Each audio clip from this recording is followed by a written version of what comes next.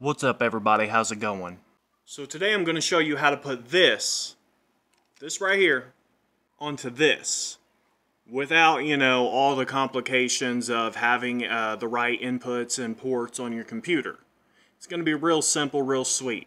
And it'll make any tape HD. Using this ClearClick 2.0 HD Ultimate Capture Box. By the way, in my last video I mentioned it, but I'll go ahead and mention it again. It takes a battery. How convenient, right? So I recently got a Sony FX7. This Sony FX7 has an HDMI out, right? But my computer does not have a capture card to connect, you know, an HDMI cable to a camera and so on and so forth. And this thing still films on tape even though it films in 1080i. So, I had a predicament. I was like, what the hell am I going to do about this, right? So this Sony FX7 films in 1080i onto tape.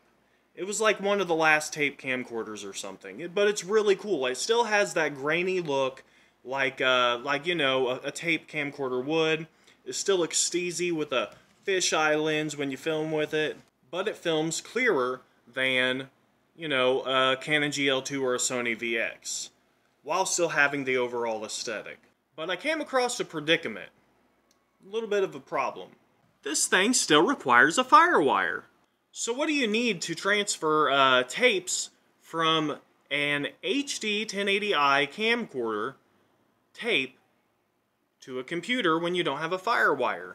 Just this and this. These three items, along with this little micro SD card, can save you a boatload of trouble. Trust me, I just solved my own problem by using ClearClick once again. So what does all this junk in front of me have to do with anything? Well, this is my Sony FX7. This is my ClearClick 2.0 HD Ultimate Capture Box. And this is a micro SD card. Oh yeah, an HDMI cable. I think we all own about 10,000 of these. So what did I do to solve this problem? I took my HDMI cable,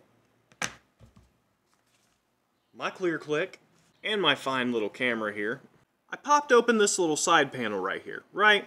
So this SD card slot, it only captures pictures. But this HDMI out slot lets you watch things and play them back with an HDMI cable. So I took an HDMI cable. I plugged it into this spot right here. Yep, pretty nice. I used my micro SD to SD little converter thing here. I put my micro SD card in it, and then I put it in the ClearClick.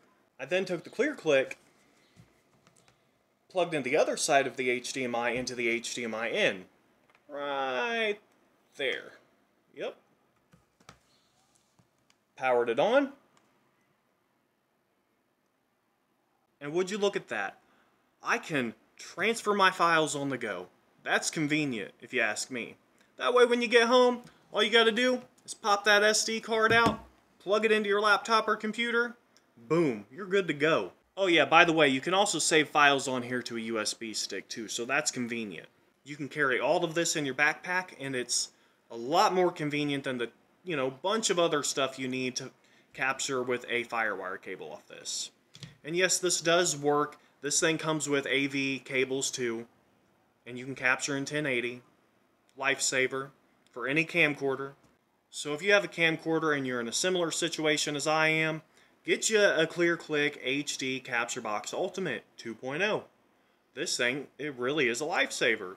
makes life more convenient, on the go, at home, no matter what you're filming. You can get it on the go or at home. Save it, put it on the computer. You don't need the FireWire port anymore. And it's all in HD. I'll put some clips in here that I filmed with this setup so that you can kind of get an idea. So this thing goes from 1080i footage to 1080p footage. Convenient, right? There you Oh! Thanks for watching. I hope this video was informative. Have a good day.